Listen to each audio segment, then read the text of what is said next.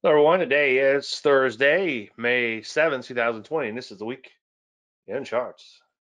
Obviously, I want to thank all of you guys and girls for being here. I appreciate you taking the effort to be here. Lately, it just seems like we just get the people from the Facebook group because I've been having some technical difficulties with GoToWebinar, and it's mostly my user error.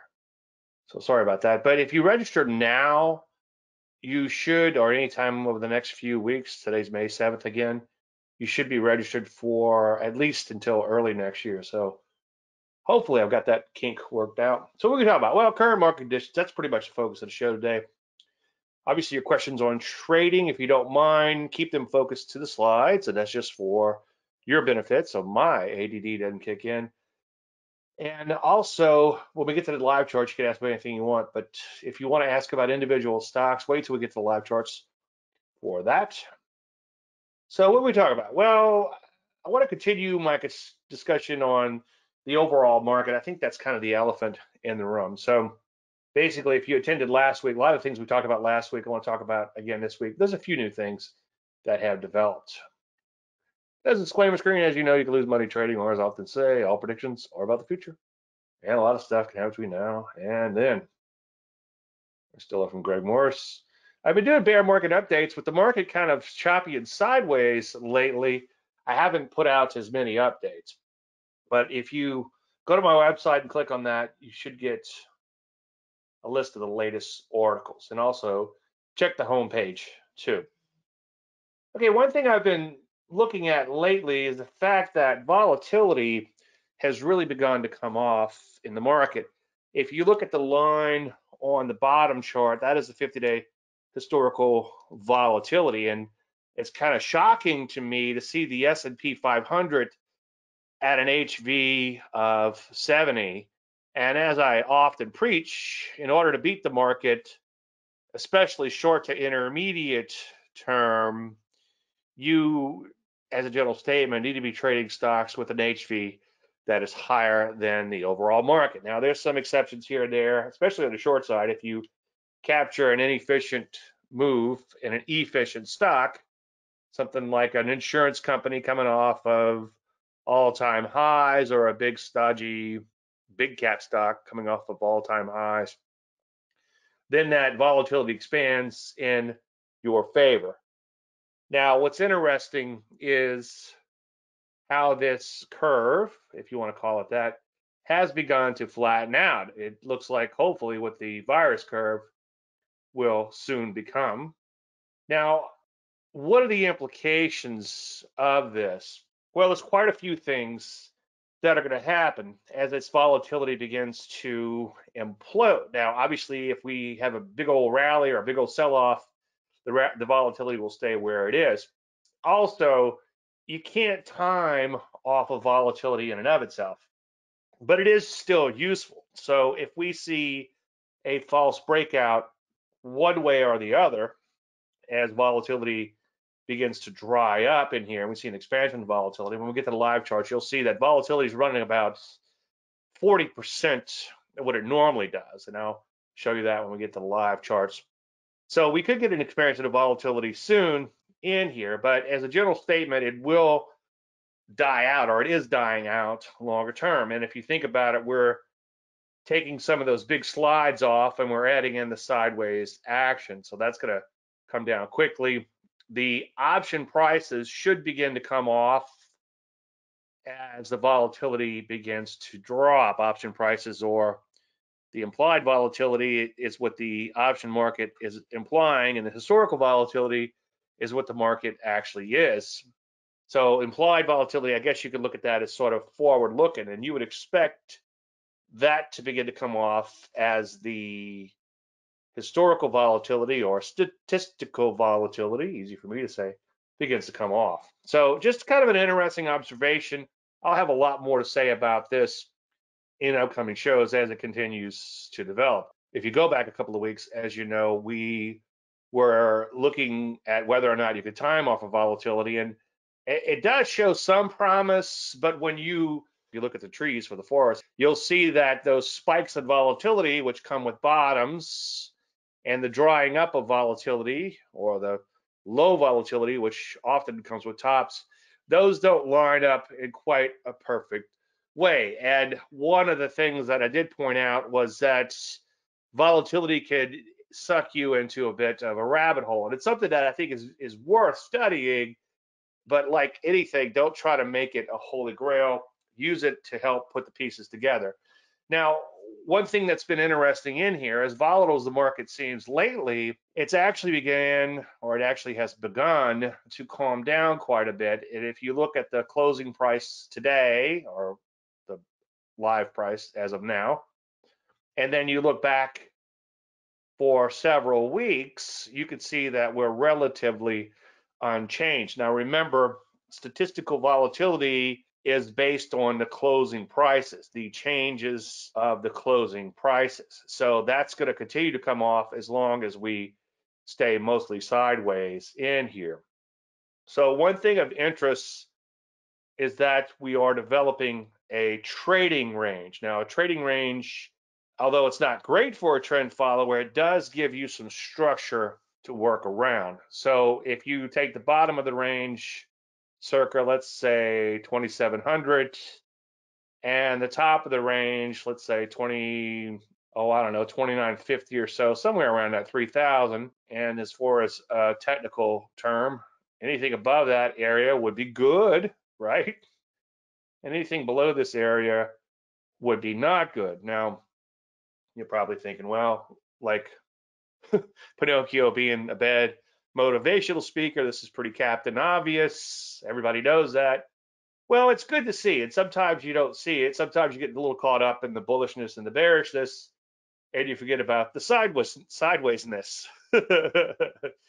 so we can see that we are developing a range that does give you kind of a, a structure to work around, so to speak. Now, if you think about it, if you drop below the range. This is where classical technical analysis can help out a little bit. I've often said if you're, you know, do study classical technical analysis, Schabacker, Pring, Schabacker meaning one of the older classics from the, I guess, 30s and 40s, and then Edwards and Magee. Actually had a friend that met one of those guys, Edwards or Magee, and he was very happy to have somebody that was flattered and he was flattered to have somebody come meet him, but that's another story altogether. Anyway, long story endless, study all that classical technical analysis, study more modern classics such as Pring and Murphy, but don't try to use it all and just use the the parts that that make a lot of sense from a standpoint of what's happening on a psychological basis. I I can't wrap my head around something like a diamond formation if somebody could explain to me from a psychological standpoint why that makes sense, then maybe I can wrap my head around it. And then the other thing is, how do you time off of it? You know, so that type of stuff hard to implement, but something like support and resistance in a trading range makes a lot of sense. So where I'm going with this is if the market drops below 2700 then anything above 2700 to 29 let's say 50 or the top of this range is likely to be seen as overhead supply. And that means that anybody who was a little late to this game coming off the bottom is just buying in recently because the market just goes up right? Okay other than that little spill we had back in february in March, other than that, the market just goes up, right? So anybody who bought during this range might be looking to get out at break even. And it's just human nature. And that's what I'm kind of hinting at with this classical technical analysis, especially things like support and resistance. Go in and read all those books and learn all those things, but then be really careful when you go to implement them. And by the way, I used to see somebody blog, and every day they would put out a post and they would use a different form of technical analysis in their post. And if you look at enough technical analysis, you could probably find enough to confirm or deny what you may or may not be thinking. And a lot of the stuff he used was wrong because every now and then he'd use some of my stuff and he would totally get it wrong. So the point is, don't try to use all of it. Find something simple and stick with it. Net net price change, very, very, very important and very commonsensical, if that's a word, to use. So use things like that. don't try to use all of technical analysis all of the time. In fact, even better, just find a little bit that makes sense to you, something, say, trend following in nature, net net price change, and possibly a moving average or two, and go from there. Now, one thing that I've been concerned about lately is that the market has a big picture retrace look to it. Now, it's not the end of the world. And obviously, if we get above that 3,000 round number, which would get us above this little trading range, as I just said, things would certainly begin to improve. But this does have me a little bit concerned. And as I've been saying quite a bit, and I'll touch upon towards the end of the presentation once more, the newly minted quarantine traders who started buying in late March had this tailwind behind him, a hurricane wind behind him for the most part, and trading has turned out to be pretty easy. When that begins to subside, and when all the bottom fishers who bought a few weeks ago or a month ago or so, when the market begins to slide a little bit, then they have to rethink their positions. And other people will have to rethink too. My friend that I was saying was making so much money in his 401k, he questioned his day job. He's gotten a lot of his money back. And but I think he's shaken a little bit because he's a little bit older than me or my age at least and he's trying to figure out a plan for retirement. He's worked really hard all his life, saved his money like crazy, and now he's kind of rethinking everything. So, because he lost more in that slide than he probably would have made adding to his 401k over the next five years or so, whatever he wants to retire. So, anyway, a lot of hard decisions to be made by a lot of people if we begin to roll over. As I've been saying quite a bit, barring an adage I stole from Linda Raschke, I borrowed from Linda Raschke, who she borrowed from somebody else when I asked her. The market will do what it has to do to frustrate the most amount of people.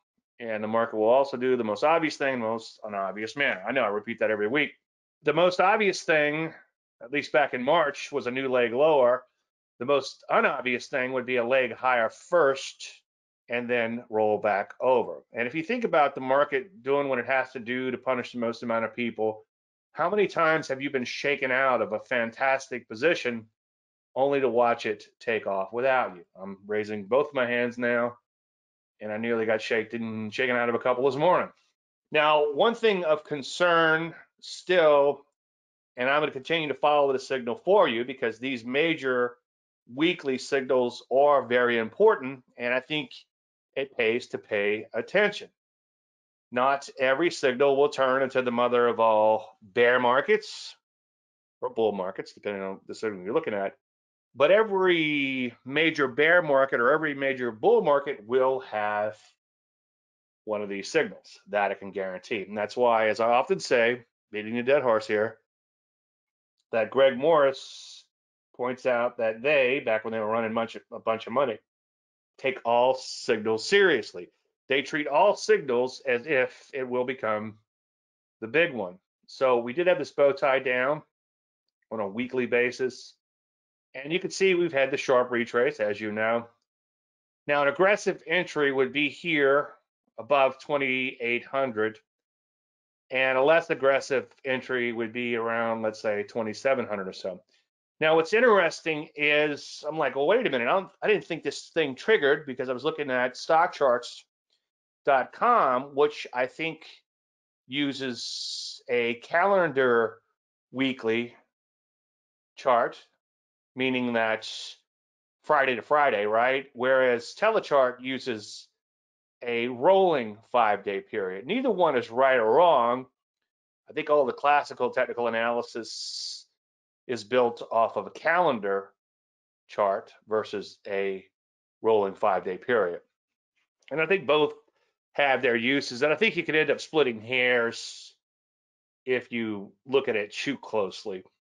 But the bottom line is the daily chart based on a rolling five day period did not trigger. So if you take a look at Telechart, which is uses which uses a rolling period, you can see that we made higher highs and higher lows ever since the March bottom.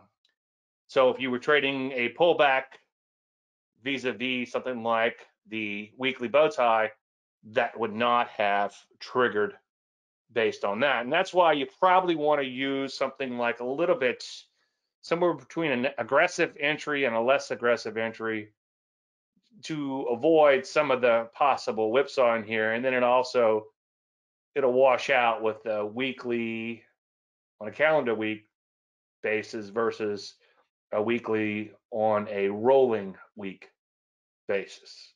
So just to just to kind of close the loop on that. So let's say you're looking today at telechart or another chart package that uses a five day rolling period, then you would look that weekly would have last Thursday's prices to this Thursday's prices in there, as opposed to you start building a new week on Monday and then that week ends on Friday.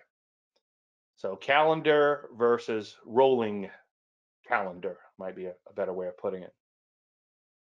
Now, I went through all this last week and many other weeks, but let me just get through it real quickly.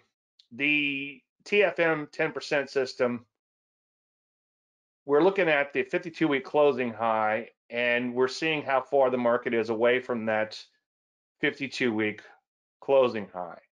So this blue line on top, as the market makes new closing highs, it goes higher and higher and higher. And you could see that the histogram up top would be 0% because you are right at that 52 week closing high. And obviously, when you get to pull back from it or sell off from it, the histogram begins to grow because you're dropping from those highs. But until and unless you make new closing highs, the line will remain flat. And if we go 50 weeks without making a new closing high, then the line will begin to drop.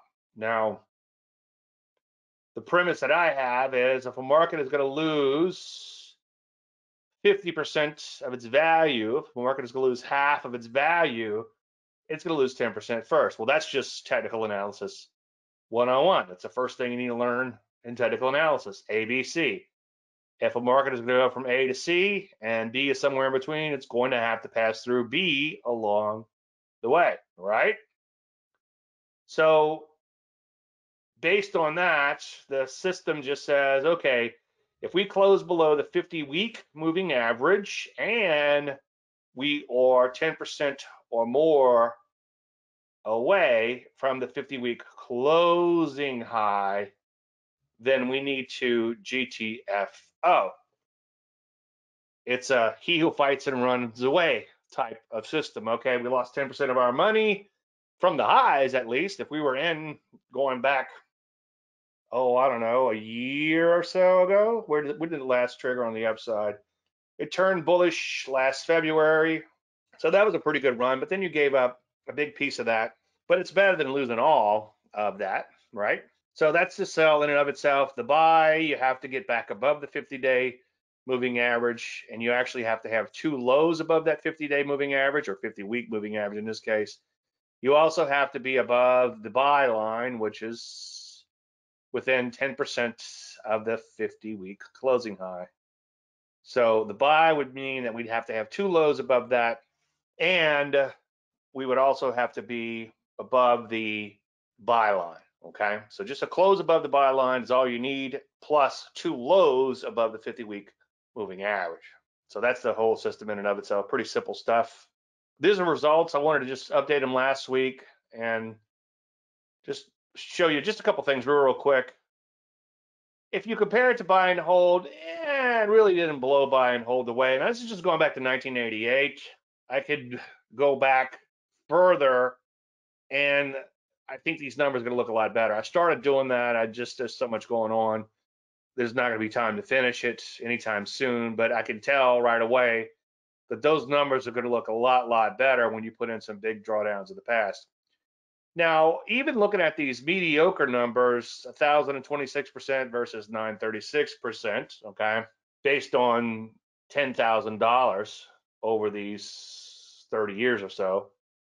And again, it didn't beat the pants off buy and hold, but you did avoid a 28% drop recently, which if we go right back up, you'll say, well, it's just a do-over, who cares? Well, if it's a 50% or 40% drop like we saw in 2000 and 2003, then that's a little bit bigger of a deal, as I've been preaching, especially if you were going into retirement and then you lost half of your money. Then you got to think, well, do I keep working? Do I do I get that single wide trailer versus that double wide I had my eyes on? You know, you have to make some you have to make some hard decisions.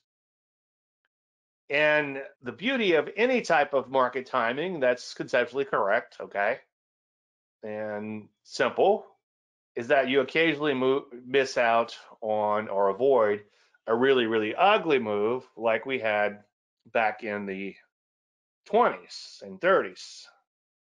Now, one other point here, notice that you're out of the market about 21% of the time. So out of those 31 plus years, 25 plus years, you were out of the market, which is pretty cool. I mean, you might have a little FOMO. You might be having some FOMO right now if you're following some sort of simplified market timing. But at least you're able to sleep at night when you come in and the futures are down 100 points overnight. P futures, that is. So if you take a look at the late 20s, early 30s, obviously you had a sell signal when the market dropped 10% below its 50 week closing high and also closed below its 50 week moving average. And then the market lost about 80% or so. It was at uh, 40, sorry, 26 and change, I think, and it went down to 4.4 or something like that. So that's a that's a pretty serious move to avoid using some sort of market timing. Now, a premise I've been kind of noodling with lately and I haven't quantified it, nor do I maybe need to even quantify it. But once something turns red or bearish, in this particular case, now bearish here is just you are 10% or more away from the 50 week closing high. Neutral would be 10% or more above, uh, away from the 50 week closing high, but above the 50 week moving average. And then bearish would mean you're back below that 50 week moving average and more than 10% away from the 50 week closing high. In other words, if you're below the green line and you are below the moving average on a closing basis, it's bearish. It's neutral if you are either above the 50 week moving average and still below the 10% line or within above the buy line and below the 50 week moving average. So bearish means you're under a sell signal. Neutral means that you could be, you could have half a sell signal one way or the other, or half a buy signal. And if it's green, obviously you're under a buy signal. Now, the premise that I've been kind of noodling with is when things begin to get bad, they often get worse. And when things get good, they get better sometimes, right? So I often joke it's often dark right before it gets more dark. So obviously going back and looking at this bullish versus bearish, again, bullish would mean you're above the buy line and you're also above the 50 week moving average the lows are above the 50 week moving average. In other words, you have daylight or Landry light above the 50 week moving average. So notice here, it closed below the 50 week moving average, but you were still above the buy line. Okay. So that would be like a bit of a warning sign. And then, oops, never mind. It went straight back up the following week. Okay. So it went neutral here. Same thing back here, except that it didn't close below the 50 day moving average, but it price intersected it. So you didn't have Landry light back here, so it went neutral, okay? And then I don't know if you can see on your charts at home or your screen at home, but here you're below the buy line and you're below the 50 week moving average. You have closed below, so you can see it was still red back here. Went neutral for a while as you be, as the market rallied above the buy line, still below the moving average, and then it went bullish when you had two weeks where the lows were greater than the moving average and you were above the buy line.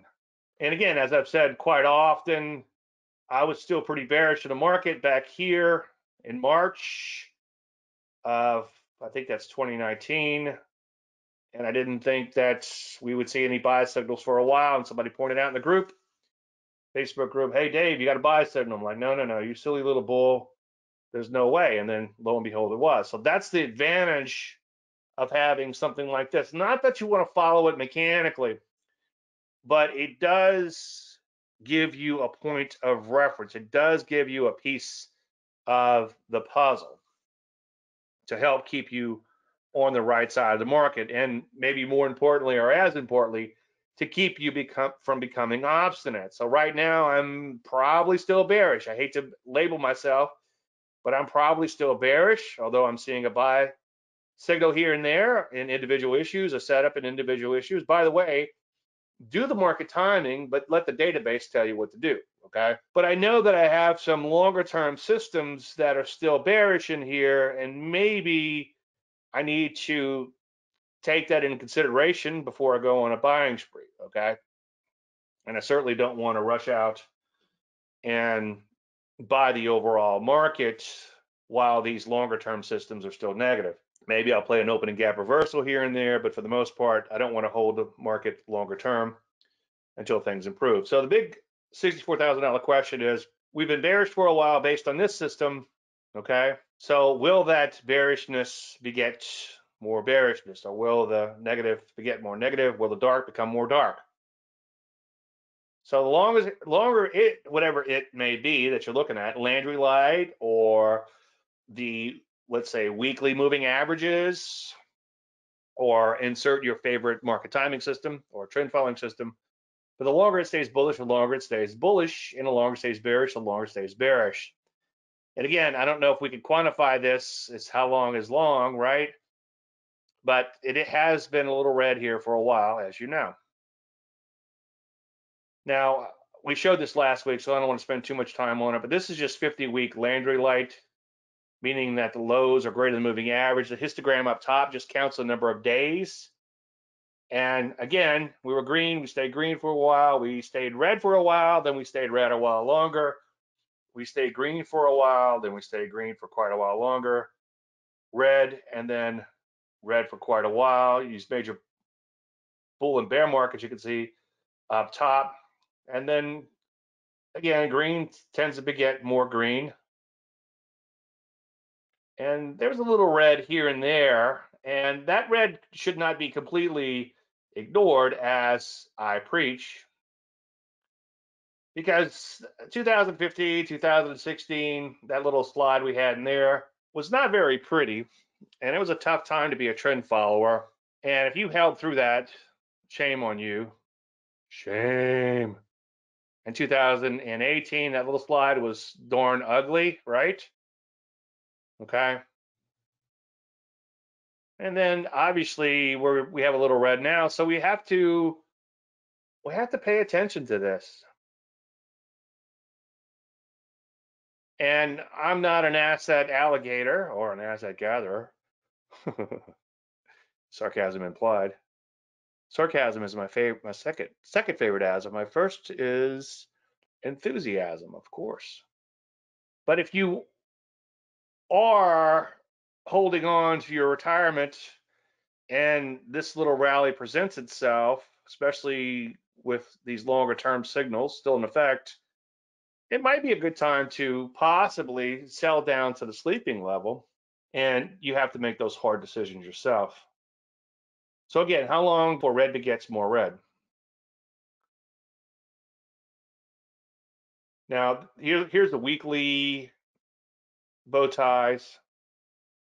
And as I discussed last week, it's mostly green in bull markets and mostly red in bear markets. What's kind of interesting is there was no green in the 2000 bear market with the weekly bow ties, and there was no green in the 2007 2008 bear market, which I find kind of fascinating.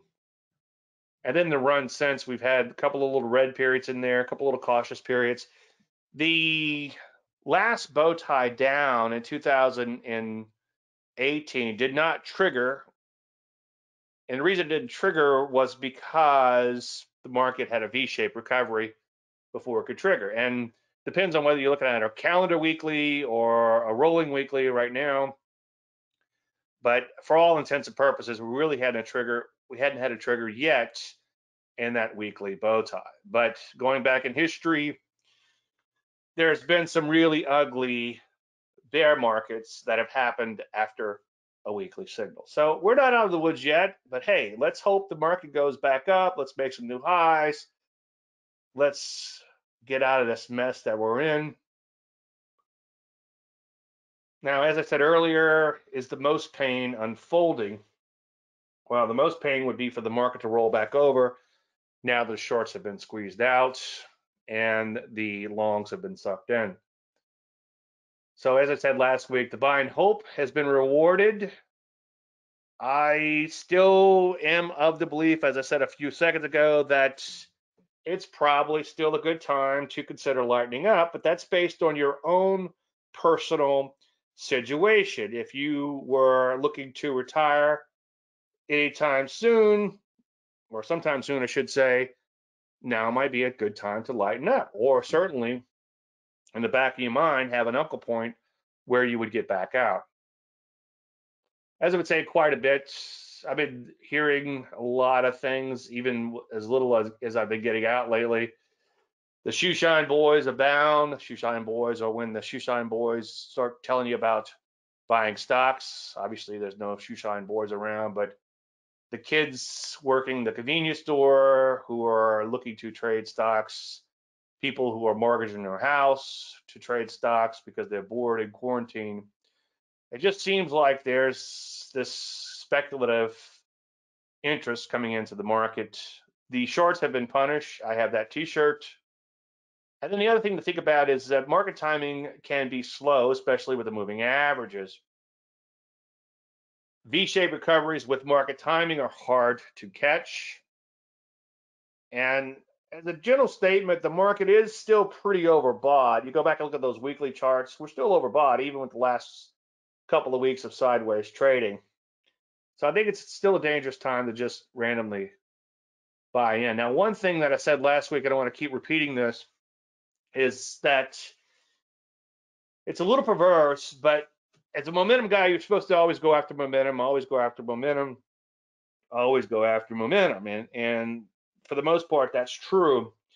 But when you have these recoveries, especially if this turns into the mother ball V-shaped recoveries, the leaders which led us out of this mess, biotech would be a good example, certain communication stocks like Zoom and other ones probably won't be the leaders for the next leg up, okay? Dave, what will be the leaders? I don't know. Maybe energy, okay? Maybe something that's at lower levels. What happens is, and it can be a little perverse, but what happens is the old leaders, those stocks that are at new highs now, can become a source of funds when the market does make that bona fide new uptrend. And by sorts of funds, I mean that the companies, the asset managers, they go in and they sell those companies to raise capital to buy stocks that are coming up from lower levels. What's interesting is value stocks can actually become momentum stocks. Commodity stocks can become momentum stocks when they're coming off of major, major lows. And so those might be the new leaders emerging. I would not bottom fish there just yet. I am seeing one or two or three cheapy, cheapy, cheapy energy stocks that are beginning to set up on the long side. I wouldn't rush out and start buying these just yet, though. Now, as I've been saying quite a bit, although I still think we had the potential to roll back over, although we do have a little structure to work within that little range, as usual, I need to continue to believe in what I see and not in what I believe. So as I said last week, just real quick, a lot of people who still might need money while we're waiting on this thing to open back up might be inclined to cash out if the newly minted quarantine traders and hey there's nothing wrong with that. If you're just getting into the markets god uh, god bless you. That's fantastic. Come on in just make sure you learn a little bit about money management and learn that markets go up and markets go down. And then this is left over from a couple of weeks ago, but more events to happen. Let's hope there's no more events to happen. But we are still sort of in an event driven environment where things are still a little fragile. And unfortunately, as we start to open back up, I'm not confusing the issue with facts, don't get me wrong. But you know, there might be another wave. But hey, you know, if that wave is not as bad as everybody fears, then that would be obviously a positive event. So there's events. When I say events, I don't mean negative events. I mean both positive and negative events could flow into the market. I think a lot of damage has been done. There's a lot of liquidity left to unwind. I guess that would be a little bit more of a bearish type of argument there. And then uh, there's some artificial buying going on from people who possibly mortgage their house to buy into the market. So anyway, just some random thoughts left over. So if you are a member of DaveLandry.com, you have to be a gold member. Make sure you join Dave Landry Trend Traders. Interact with other traders. I love this group so much. I really do. And I was thinking just this morning, it's like, let me just pop in there, see what's going on. Let's see what everybody else is thinking. It, it really helps to have additional eyes on the market and additional thoughts. And as I've said before, I've I've come not that I'm the grand poobah or anything, but I've come in and said, hey, you know, what about this stock? And, and you guys have kind of shot it down a little bit and stopped me from doing something that I might have been feeling a little bit of that intuition as opposed to the intuition when it comes to a trade. And the beauty is we can ask for help and we can ask each other for help. And to my amazement, a lot of the questions from the newbies are being asked before I can answer them. So thank you guys for that. And then we have the learning management system too to help fill in on fill in all the holes. And you can see signs and signals along the way. And occasionally I will mention some trades that I'm seeing, such as the opening gap reversals. Those haven't worked out fantastic lately, but longer term I think they will. So more information on that, you can go to davelandry.com, become a better trader with these three things. The if you're listening to a podcast of this, see the actual recording for the for the URL or davelandry.com slash members, M-E-M-B-E-R-S for more information. All right, let's pop to the live charts. Let me uh, shift gears here. You guys can start asking about individual stocks. Let's take a look at the live charts and then we'll get to your stock picks in here. We should have plenty of time this week to get to everything. All right, S&P 500 obviously decent day today. It's like I was kind of amazed when I went to put in the results for the TFM 10% system. I noticed that wait a minute, the system looks better than buy and hold over the last week. And I'd forgotten that if we go back about a week or so, we're actually lower than where we were a week ago. In fact, we just take a look at a at a weekly chart, and you can see that now not as much as it was earlier this morning, but still lower nonetheless. So top of this range again up here, and let me just give you that number, which I'm sure you have in your own charts. So that is, we can just do this, I guess, 2960, round numbers. So decent day of the P's, a little bit of a lap open. Take a look at the spiders real quick. So we lapped open today and really didn't dip much. So far, so good. We're hanging on to that lap, okay, because it overlaps the prior range. It would have to be above this high to be a gap, obviously.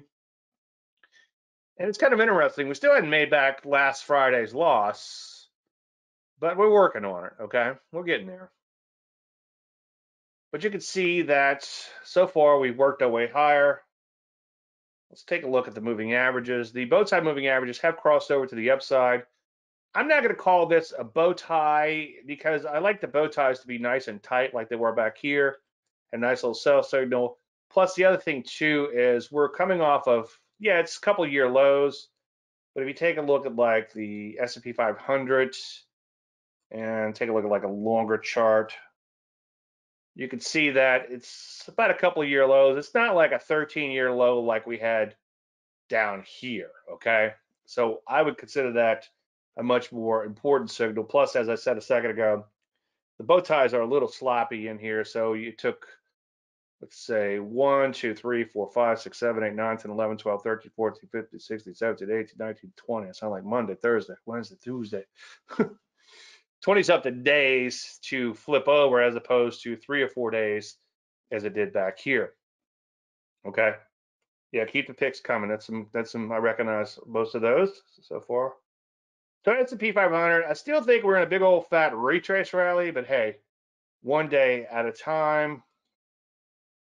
Now, I'm not a big fan of measuring retraces, okay? But we have gotten past the 50% retracement. Larry Williams pointed out that usually after 50% retracement, markets have bottomed out.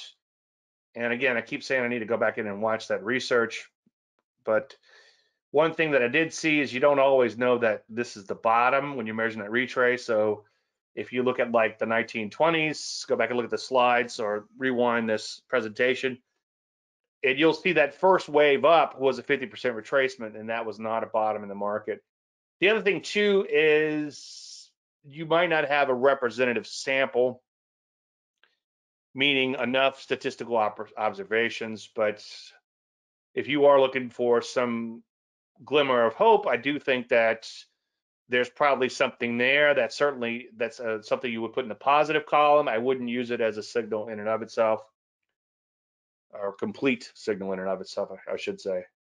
But you know, market's working its way higher. So far, so good there. And again, kind of a little range bound shorter term, hard to see all zoomed in like this. But if you zoom it out a little, you can see that we've kind of just chopped back and forth in here for a little while. And you can always use your C key to see, okay, we're a little bit higher than we were back on the fourth, obviously a little bit lower than we were, percent and a half back on, was that last Friday or so? So as usual, one day at a time. Let's take a look at the NASDAQ. NASDAQ has had the mother of all retraces, and look at that. Looks like it's going to try to lead us out of this mess. We are breaking above recent highs in here. So that's certainly a good thing. So far, so good my big deal is, and I don't want to come across as a Grinch or anything, but when you have these V-shaped recoveries at high levels, by the time the market gets the market gets all the way back to its old highs, it's very, very, very overbought and very, very, very hard to sustain. I'd actually prefer if this market just bottomed out for a while. It took a long time to bottom out and then began to take off, just because that type of move higher is a little bit more sustainable. But you know the deal, one day at a time, and more importantly, or as importantly, one setup at a time. And again, we're starting to see some longs, and we're starting to get long. I am long one or two IPOs, one for sure. I'm long one of these little speculative stocks too. So not many shorts left and a few longs beginning to creep into my portfolio. So watching the database is important. We'll get a taste of that looking at some of, some of your stock picks here in just one second. So a little bit different picture in the Rusty. You can see a big slide and not quite as impressive of a retrace. And let's measure it from this high here. Again, I, I wouldn't use that F word, and that's not um, not fundamentals, but the other F word. So we did get a little bit past 50%, but as you can see, we dropped right back down. So I'm not sure if you could time off of that, at least shorter term, because we did make back 50% of the slide, but then now we're back below that 50% level in the Russell 2000. But I think it's an inter- it's I think it's a very interesting observation nonetheless. And I think that anyone could shoot holes in my stuff too. You know, I'm not trying to shoot holes in it. I'm just trying to play devil's advocate. Most of the stocks sectors, such as the overall market, are in these retrace rallies. There's a few exceptions, such as gold. You can see banging out new highs. I'm really not seeing a whole lot of gold setups because the take a look at that gold commodity it really didn't break out decisively above these little peaks in here. I'd like to see a big old breakout and not look back for a while. But yeah, certainly we could see some gold stocks setting up fairly soon. There's a speculative one here or there. By speculative, I mean low price and high volatility. Of course, everything right now is pretty much high volatility. A lot of areas, again, especially like the foods have that retrace rally look to them. And then of course, I would just guess if we take a look at like a weekly chart, yeah, weekly bow tie still working there. But some areas obviously have improved considerably, such as the drugs and biotech. My only concern here, that V-shaped recovery problem rears its ugly head. And you can see biotech made it to brand new highs, came back in, and now it's put, having another push. Now, on an individual basis, they might there might be a stock here or there that's worthwhile within drugs, biotech, and then health services. You can see big, deep retracement so far, but working its way higher. Now, if you're new to my methodology and you're studying some of the other things, you would say, well, Dave, don't you, would you call some of this a first thrust and all? It's like, well, a first thrust or a bow tie I like those patterns coming off of major, major lows, especially after the market's bottomed out for a while, as opposed to a V-shaped recovery at higher levels. Retail's done amazingly well in here, all things considered, right? So believe in what you see, not in what you believe. And then what else? Semiconductors have also done fairly well, but then they had a little stumble recently, and you can see this is amazing. Look at that, 79 is your HV there and what did they drop over like a couple days? They dropped 8% over just a few days, okay? So this kind of exemplifies how fragile this market is. And even though the volatility's come off overall, a lot of areas are still pretty darn volatile. 8% drop followed by whatever that little rally is. 8% drop followed by a 5% rally over a few days. That's that's pretty crazy and volatile. One more thing real quick, and then we'll get to your questions and stock picks. Earlier, remember when I said, so HV up around 69 as of yesterday, now it's like 68. If you take a look at the six day HV and you divide that by the 50 day HV, you can see that HV is running about 40%. So that might be that curve flattening and the volatility might be what you're seeing as price begins to kind of flatten out in here. So shorter term, we are going a little sideways in here, although it still looks like this rally from low is intact. But if you look at the micro a little bit, we are going sideways. The other thing too, especially with the volatility dropping off like this, is if we begin again to drop below this range, especially if we get a fake out to the upside first and drop below this range, then everybody who was feeling pretty comfortable in that ride higher is going to be a hurt and pup. And then they're also going to think about getting out at that overhead supply.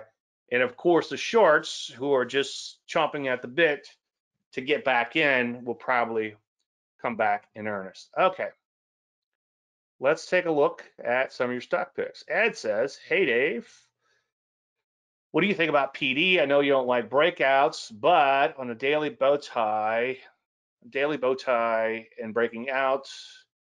Also, if you could you briefly review the ogre methodology of time prevents. Yeah, we should have time for both of those things. Sure. Okay. Well, PD yeah, it's breaking out, but it looks like we talked about this last week. You have a lot of overhead supply to deal with, okay? So that's my big concern there. Anybody who bought in this area might be looking to get out at break even. Now, one thing I'm kind of torn with is is everything I learned over the last 30 something years versus everything that's happening right now. Okay? It's like, has something changed? Is something different? Can the market just ignore all this classical technical analysis? And I think you can answer that question either way, yes and no. Yes, this market has defied gravity in some ways, defied logic, as it often does, of course. But defied logic as far as you should this market should be seeing some resistance up in this area here. But is this is the new the newly minted quarantine traders, the retail traders who have just jumped in the market, are they just going after everything? And with enough vigor to push through overhead supply and all. I don't have the answer to that question, but for now, until proven otherwise, I think I'm going to stick with my classical technical analysis and my patterns. Okay. So for me to get excited about PD, it would have to push through this overhead supply. Now, as far as the opening gap reversal, so I'll show you one of my favorite examples here, especially since it goes with the trend.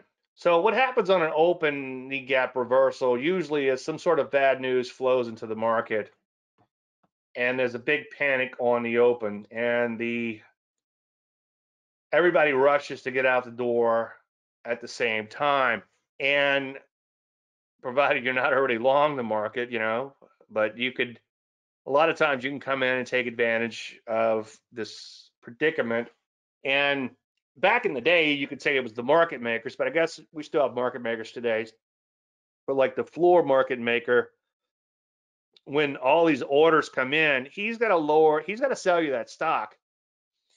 So he's going to lower the price to a point where it's an absurd value because he's got to feed his family too. And he's going to flip out those shares later in the day at a higher level. So when you're when you're trading an opening gap reversal, in a sense, you're on the same side as the market maker. So in a case like this, you had a stock that has persisted higher day after day after day.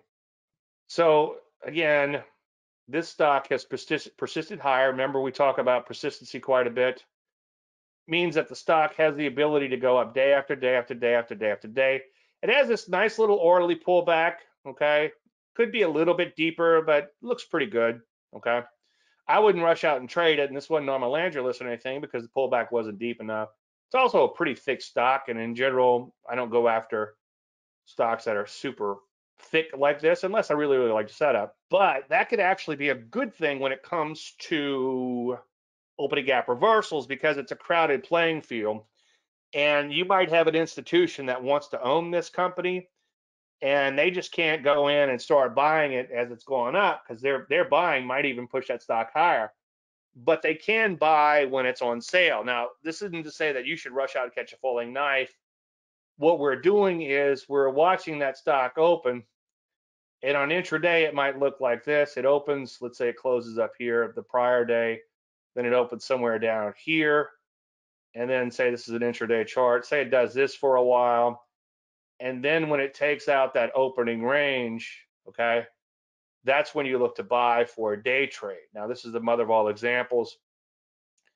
And what you do, you would put a stop down here, but as this begins to move in your favor, you do two things. One, you trail the stop higher, and then two, you take partial profit somewhere. Now, by the time you take partial profits, you should be at least at break even, and then you could actually apply some of the longer term trend following techniques we use, like the widening of the stop. So let's say you had a, I'll just pull a number out the air, a two point trailing stop. Well, maybe open up to three in order to ride out, hopefully, what turns into the mother of all trend days. Now, this is the mother of all examples, right? Okay, 10 points in one day. It's not always that fantastic, believe me. Okay, and then lately they haven't they seem they don't seem to be as great as they have been in the past. So that's an opening gap reversal. I just remembered that we kind of beat the dead horse and you have access to the members area. If you go through the Q&A, that's where a lot of the new material, the new content that will find its way into learning management system exists. So go through the Q&A and we covered ogres quite a bit. Let me look for that real quick and then keep those questions coming. We haven't done a Q&A section session lately, but if you come into the Q&A, you can see we did quite a few of them in the past, a couple pages of them. And then we could do a search for ogres. Let's see what we get. Yeah, look, we did one back in November on ogres, back in September on ogres, back in August, so we did a lot on those. And if you look at these Q and A's, you're like, well, this guy's just all over these ogres. That's all he does. Like, no, it's just a case where there's so there's so many questions on them that a lot of time is spent on that. And by the way, to those who are wondering, somebody newer to the methodology and newer to the members area is like, well, how often do you do you do a Q&A? We were doing every two weeks, but right now we're getting all the questions answered in Facebook, and we've answered a lot of questions like the opening gap reversal. So we we're kind of caught up on that. And when I receive enough questions to do another session, we'll obviously do another session. Okay. GNMK, that's one. I, there's one I failed on uh, an opening gap reversal, just an FYI. Let's see what's going on. Is this one? Yeah, see, it, it wasn't the perfect setup, but on this day here, you had the gap lower, and then I tried to play that rally back up, and it just didn't work out. But I like the fact, and you know, it's kind of interesting too, and, and I'm just thinking out loud. you're probably like, you're probably think, Dave, it sounds like you're always thinking out loud. Yeah, I know. but what's kind of interesting is if you look at it's one thing that I'm always kind of doing this introspection. In this business basically it's a business of introspection okay? You you could always do better than you did and you're always striving to be better. And i notice that when i'm excited when i'm kind of uh mediocre on a trade not excited by trade but it, it has some of the elements that make it look really, really great, but it's not quite perfect. I tend to not do well in those trades. And if I, one thing I've been monitoring, or one thing that's been helping me to monitor things is when I put out a post on Facebook. And if my post is like, hey, this looks really good, then usually I make money on it. If my post is like, hey, uh, the gap could be better, but it looks okay. In a case like this, this GNMK, then it's like I don't tend to do as well on those trades, okay? Now, as far as a new setup, I don't really see it at this juncture. I would like to see it actually make some new highs and then pull back again. This opening gap reversal here was kind of funky, kind of messes up the charts a little bit. If we'd pull back a little bit more deeply than this, okay, look at your HV, 167. So and maybe I'm looking for a little bit too much perfection lately, but I don't want to I don't want to bend the rules too much to chase what's happening now, especially now that volatility has begun to come off and is beginning to flatten out. And hopefully that makes sense. But on a volatile stock like this, I'd actually would have preferred a deeper retracement before going after it. But I hear you. You have a bit of a knockout move, and then your entry would have been right around this high. Okay. I'm guessing you're already long, James. yeah, if you're long, stay long. It looks pretty good. Okay. AUDC. AudioCodes starting to look interesting after gap up breakout. Yeah, yeah, well let's let's wait for a pullback. I mean, this thing has gone has tripled over a short period of time. It's kind of all over the place but shoot, everything's all over the place. So maybe on a pullback. Now, the only thing that's kind of strange is that let's say the market does start really going up, then the stocks that led us out of this mess, like I said earlier, might not be the stocks that continue to lead us. But yeah, as a trend follower, let's see what it looks like when it pulls back it's broken out fairly nicely, but it, by the time you get the pullback, you could be back into this little range here. So let's just see how it happens. So for sure, have that on your watch list, okay? But let's wait for the pullback, and then like Justice Potter Stewart, as we often say, we'll know when we see it. SDGR recent biotech started to climb back towards highs. Yeah, put this on your watch list for sure. I'm trying to think if I played this one or not. This one looks really familiar. Does anybody remember if we played this back here? I think I did. And I think I did incredibly well and felt smug, and then it came right back in. so, um, if you are playing maybe a secondary breakout, again, I'm not a, a breakout player, but in IPOs, I'm willing to play breakouts like we had back here. Okay with a few caveats. One of them being I like, if it's a higher price IPO, I like to have some Landry light on a five day moving average. So right here you have Landry Light and you have a new closing high. Okay, so that's and again, I don't remember whether I played this one or not, but that was a setup back then. Now I would almost, I think you'd be better off letting it break out and then look to play the first pullback. I did play it. Thank you. Okay, I thought I recognized that one. You see, here's, you know, this is the perverse thing about this business. I was all excited because I played this stock and made 10, 15 points or whatever, took some partial profits, and then it came right back in, and then whatever's left on the table evaporates. Net, net, I did really well, okay? But I find myself mad at myself because this thing didn't continue higher. But you know, it's kind of like what I tell my clients. Well, you gave up money on the end of the trade, but you made money overall. So why don't you send me that money so you could feel better? Well, guess what? I have the same exact feelings. I still have a pulse. And you know, it, it, the reason I feel that way because it's human nature. But the reason I get so mad at these gurus out there making it look easy, and they're FOS, we all know that. But anyway, I think the reason I get so angry is because it's disingenuous to the person who's out here in the trenches grinding it out. Like, what's wrong with me? You know. but look at that, and, and there's actually some psychological reasoning behind it, some neurology behind it too. A negative observation, as we often talk about, is twice has twice the emotional impact as a positive one. So here's a stock I don't get excited when I see it, or don't have a feel good when I see it because I know I lost money on the second half of the trade, even though I made money overall, right? So yeah, that's so let let that break out and let's play the first pullback on that, okay? The Qs have retraced the fib of 786. I don't know if 786 is a legitimate fib. I think the 786 is like a um and believe me, I'm not a fib guy. 786 is like a square root of something, and it's like they just kind of pulled that out the air or from somewhere else. so, but yeah, look at these Qs. Um, let's take a look at that. All right. So the Qs I can see, I think I have 618 on this uh, chart. So yeah, I'll take your word for that, that it's um, gotten past the uh, retracement on that. So we'll see. And that's that's a boy, is that a textbook V-shaped recovery, huh? It's crazy. It's amazing.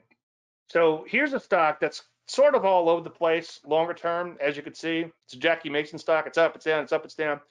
But as I often say, the personality of a stock can change. There's some chip makers right now that are doing really well. I saw a presentation from Linda Raschke. She said her brother works on Intel, and the reason some of these semiconductor stocks are doing so well is they can't keep up with the demand for laptops because a lot of these work at home people now don't really have adequate equipment to work at home, and so their companies are pushing out the equipment. Now I don't know what these people do. It says packaging. Well, maybe it's some kind of packaging that people need based on this thing that's happening. I can't say what the name of it is because YouTube will demonetize me, kick me off. So it looks okay. If I was just seeing the chart from from this part forward, okay, and not seeing all this, I would be more excited about it. And what I like about it in more recent times is that it has persisted higher, but it has that V-shaped recovery, okay? So I say it looks okay. I think you could certainly do much worse, okay? But I'm just having a hard time getting excited about it. But yeah, I agree with you as far as it looks like an okay setup. Nothing wrong with that. BHAT. I'm not a big fan of bats right now, but let's see. Well, obviously a lower priced stock. It does. It is an IPO the first thing I'm seeing is okay, it's a die and a die IPO. Now, sometimes IPOs come public, die out, get their act together, and then begin to rally. Second thing I'm seeing is a mound of overhead supply that, hey, so what if I buy this stock at a buck and change and it goes to two bucks and change before it hits any trouble? Then maybe I'm not going to worry too much about that. Let's put the bow ties in. You do have a bow tie. I think it looks okay. I think it's super speculative at a dollar and change. Also, look at your average volume, 140,000, and that's just for that's for a hundred dollar stock or whatever, dollar and change stock. So, you know, one trader could easily be the all the volume for one day. Okay, so I think it's too thin to go after, too cheap to go after. But I hear you. It doesn't look um, it doesn't look bad. A few caveats aside. So yeah, just be be careful in that one. HCA, it's going to be a healthcare stock. HCA, Dave. Here we go. Now here we this is another one of those big picture retrace patterns and the methodology isn't always the be all end all, right? So if we're looking at like a let's see, is that a weekly? Let's look at like a two day, three day. Okay, let's go back to one day chart. So here's a stock that fell out of bed with everything else. Fell out of bed. Look at that. Huh. it's a hospital stock that fell out of bed. and mattress stock has been firm. My pillow has been firm. Airline stocks have been. Well, I don't want to say that. That sounds stupid. Uh, it has a big picture retrace look to it. Okay. So long or short, I would be shorting this stock. Okay. Uh, would it, am I going to short it? No.